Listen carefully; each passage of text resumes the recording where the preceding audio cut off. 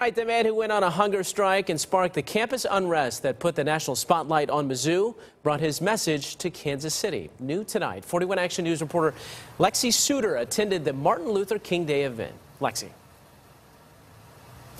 Mike, this is the 47th year for a Martin Luther King Jr. celebration here at this church. And tonight, a very important message from a man who put his life at risk in the name of equality and justice. When I first contemplated going on a hunger strike. This is the man who captured the attention of the nation last fall. Jonathan Butler, the Mizzou grad student, did not eat until the university's top leaders stepped down. There is no more time to play around. There's no more time to patty cake.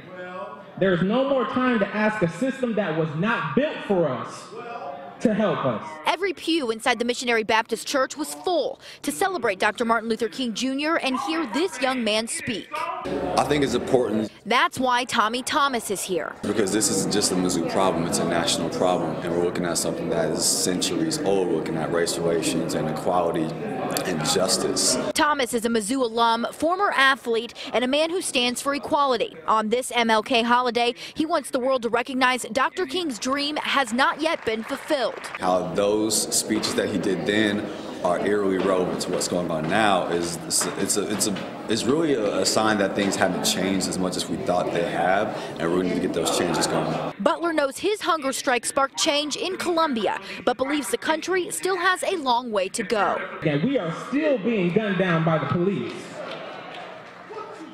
We are still facing poverty. We are still being denied adequate education. So we are still fighting.